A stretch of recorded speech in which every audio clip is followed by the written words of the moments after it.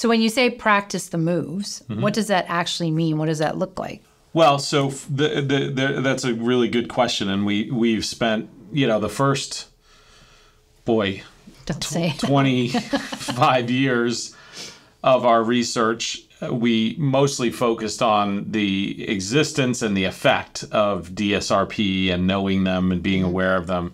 In the in the last, uh, I would say probably 12 years or you know eight years, we've really been focused on that question. How do you practice it? What do you practice? What specifically do you practice, and how do you practice?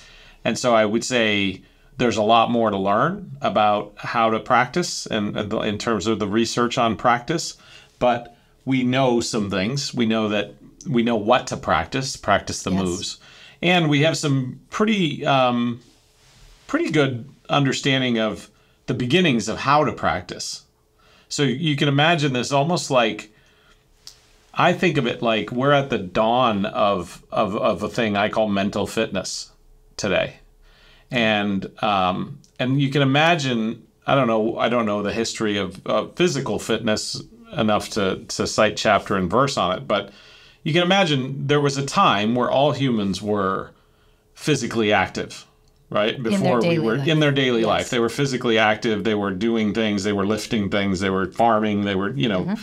you know, walking, doing all kinds of things, right?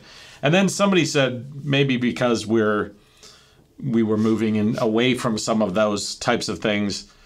Somebody said, "What if what if we like practiced physical fitness?" Right? Yeah. What if and you can imagine that's like a big leap, right? What what if instead of just being instead of just moving in your daily life, doing things, uh, lifting things, all that. What if we isolated those movements and practiced them? Yes, and I would imagine that that came from as we had all these advances in technologies and cars and all these things that actually Mm-hmm. removed the day-to-day physical.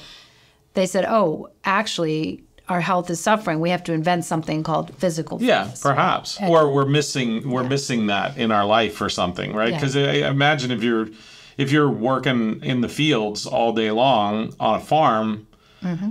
You're probably not thinking after dinner I'm going to get a workout in. You know, like you're you you got a workout in working on the farm all day, right? And and so if if you're in an agrarian kind of thing, you're not going to go be doing push-ups or you know sit-ups or whatever.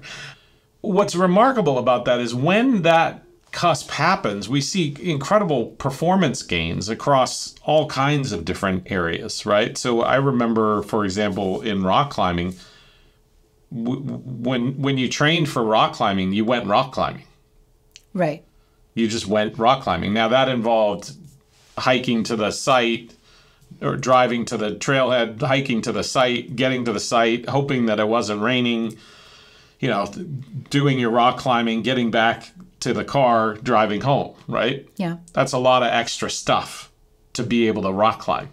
Right. Well, today you go to the gym, you go up and down and up and down and up and down, you get you get more practice in Yes. right? Mm-hmm. And so what do we see? We see the the far end the far end of performance of rock climbing is is increasing pretty steadily and pretty remarkably, right? Right. The same thing for any sport, basketball, football, whatever. We're we're isolating activities and training in those activities and we're getting more reps in those isolated training activities and then we're figuring out how to get those isolated activities to be more synthetic Right. in practice and things like that. And so we're seeing just a, you know, a, an explosion of talent. We see this in MMA too, practice, right? Like yeah. the kids the kids are practicing when they're little. So because we know how to practice. So you know, rather than saying, "Hey kid, go get in a bunch of fights," it's like, "Hey kid, you can practice as a little kid jujitsu and, and Yeah. Muay Thai and you know boxing and all these kinds of things." And now we have these superstars that are 20 years old or 18 years old, and they're just remarkable, right? Yeah. Yeah. So all I'm saying is this I think we're at the cutting edge. I think we're at the at a, almost a, a, a the beginning of that moment when we say, yeah, we're thinking all the time. out in ambient world, we're thinking all the time. Everybody thinks all day long. Mm-hmm. Right? Yeah. But what if we isolated some of that process and Yeah. understood some specific moves that we can do that will strengthen our thinking across the board in remarkable ways? And I think that's where we're at today. We're at the cusp of that revolution.